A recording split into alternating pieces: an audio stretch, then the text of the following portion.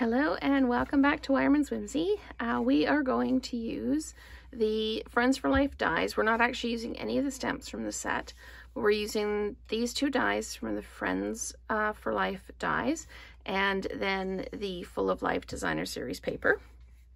So Angela, this one's for you. It's the stained glass. Um, so uh, I have glued, I've cut out the basic black and uh, glued it down. I was so excited to do this. I didn't put it on adhesive backed paper. Um, so I used my um, liquid mono glue. If you have the white glue from the catalog, you can dab it on and then just kind of brush it around with your fingers so you don't get any kind of pieces that like push out, like gobs of glue that push out. And then just adhere it down to your uh, designer series paper and then cut around it. Um, and then I've got the, um, I always forget the name of these. They are the adhesive backed transparent gems. And I used three of the large ones and three of the small ones on this one. So let's go ahead and get started on this card. I've already cut two of these out. I've got the third one to cut out yet, and I thought I'd do that on the video. But what we've got is a basic black card base. Um, and then I've got a five by three and three quarters for the inside. Uh, and a five and a quarter by four that I've cut the middle out of because I want to save the paper. And that will get matted up and put inside. So that's what I didn't show you on this one. I've actually, it looked really plain just having the white on the inside. So I thought I'd use a piece of the designer series paper and just follow the theme on the inside. Um, and then this is uh, five and a half by three. So it's the full length of the card and then uh, just cut in half. So I don't actually have um, that kind of written out, but it is the full length of the card, so five and a half um, by three. So let's go ahead and cut this one out.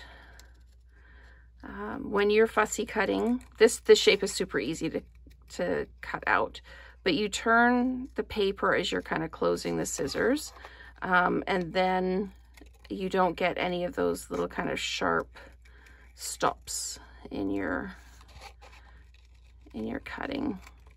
So we're just going to keep going around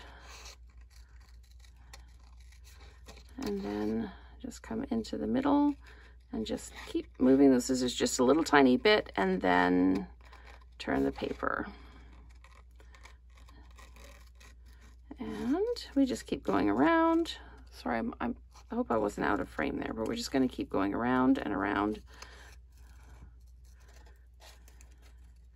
until we get to the other end.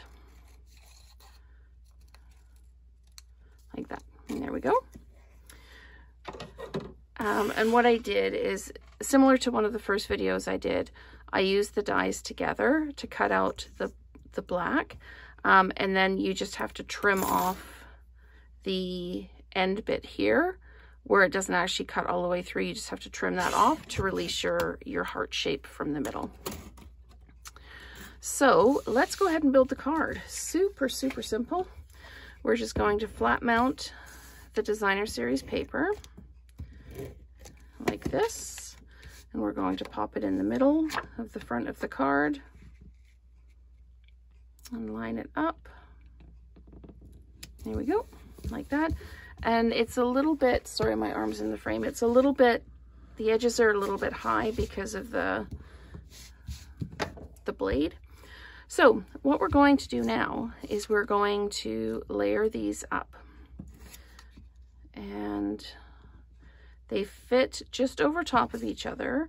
But what I did is I flat mounted the bottom and put dimensionals under the top. So it's each one kind of stands a little bit up. So we're just going to start doing that. And then just put the dimensionals in.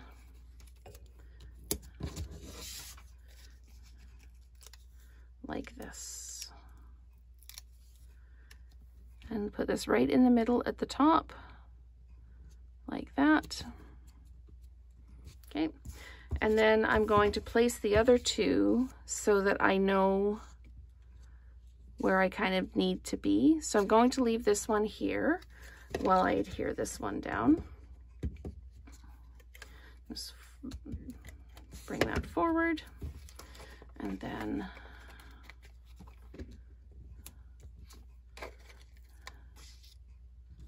like this. Peel the backs off and we'll do we'll place this one and do the last one. I don't have a greeting on this card.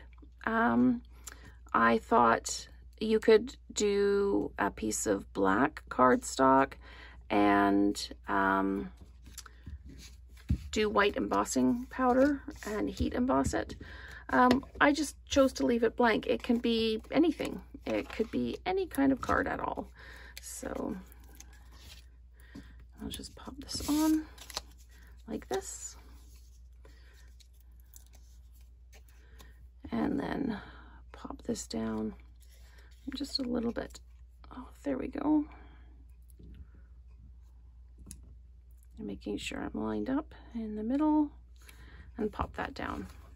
So that is the front of the card. I'm going to do the inside and then I'll come back and do the adhesive dots.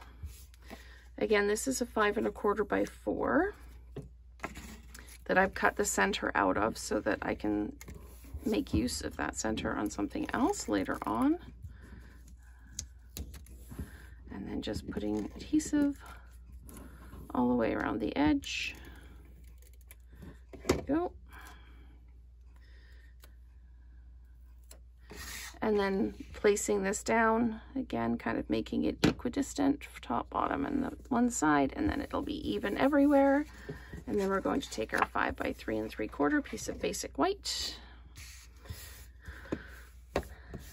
And I haven't done anything on the inside. You could put a greeting on the inside if you wanted to. Um, however you want to make the card, whichever designer series paper sheets you want to use.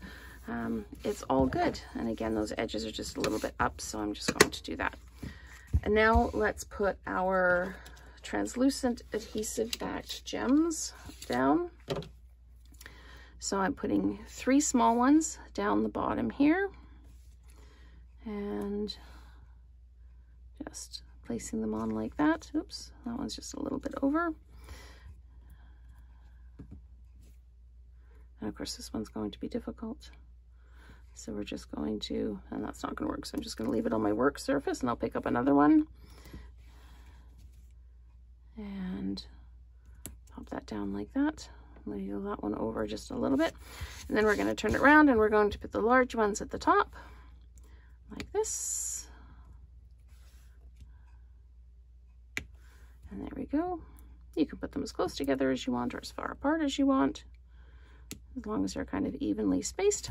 And there we go. That is our stained glass heart card uh, using the Friends for Life dies and the Full of Life Designer Series paper. So thank you so much for watching and let's create together again soon.